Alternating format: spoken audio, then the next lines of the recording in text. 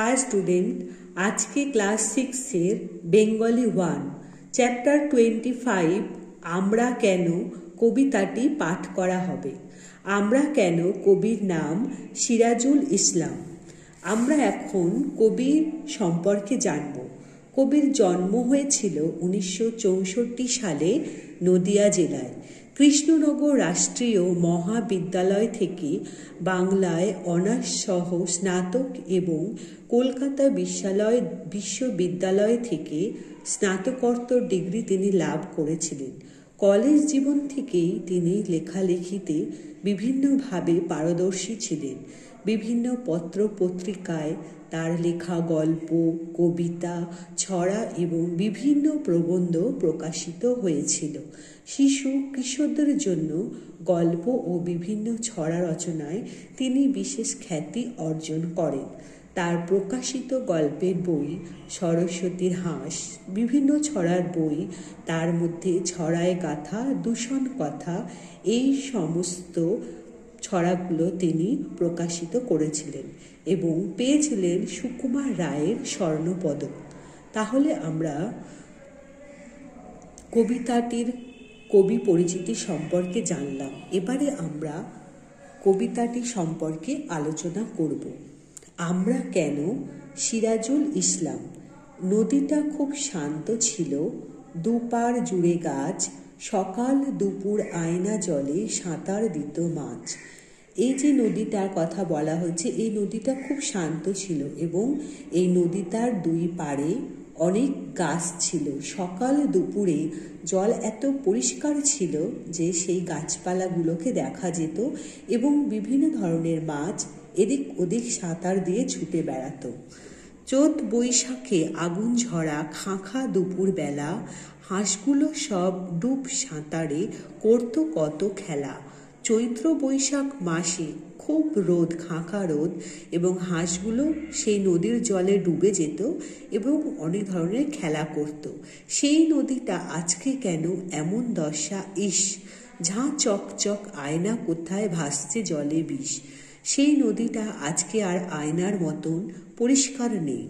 সেই নদীটার মধ্যে চারিদিকে পুরো গাছপালা পচে গিয়ে জল পুরো কালো হয়ে গেছে এবং জলের মধ্যে যেন মনে হচ্ছে যেন বিষ ভাসছে। মাছগুলো সব খাচ্ছে খাবি, জাগছে মাছে চর। কোথায় যে বা সেই জলের ধারে মাছ রাঙাদের ঘর।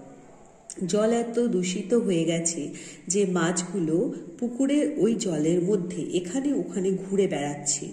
এবং দেখা যাচ্ছে যে সেই জলের মধ্যে মাছ রাঙারা যেন ঘর করে আছে।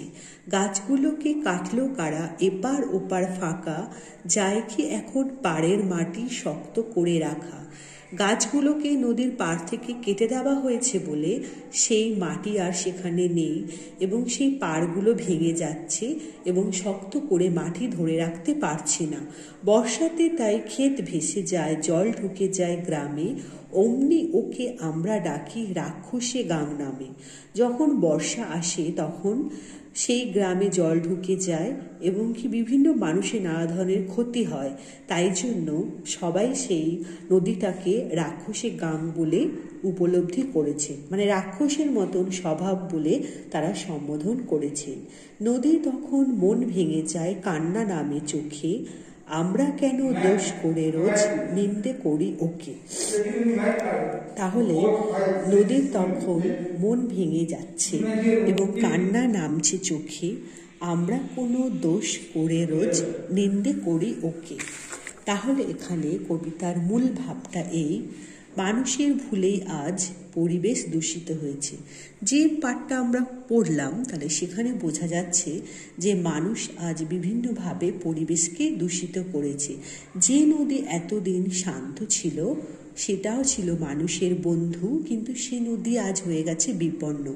সেই পারে গাছ নেই, সেই নদীতে হয়ে গেছে জলে বিষ, এবং সেই বুক ভরাট হচ্ছে দিনে দিনে। নির্বাকী নদী তাই বর্ষায় খেপে যায়, এটাই যেন নদীর রাগ। তখন গ্রাম, ক্ষেত সব ভেসে যায় জলে, মানুষের দোষেই নদীর এই বিপন্ন অবস্থা। তাহলে আমরা কেন এই কবিতাটার বিষয়বস্তু হচ্ছে এই নদীটাকে বিভিন্নভাবে মানুষ পরিবেশ দূষিত করে ফেলেছে। তার ফলে কি হচ্ছে সেই বিষয় নিয়ে এখানে বলা হয়েছে। তাহলে আমরা কবিতাটা পাঠ করলাম এবং এখানে যে কোশ্চেন আনসারগুলো আছে, সেগুলো তোমরা বেঙ্গলি ওয়ান খাতাতে লিখবে। Thank you all student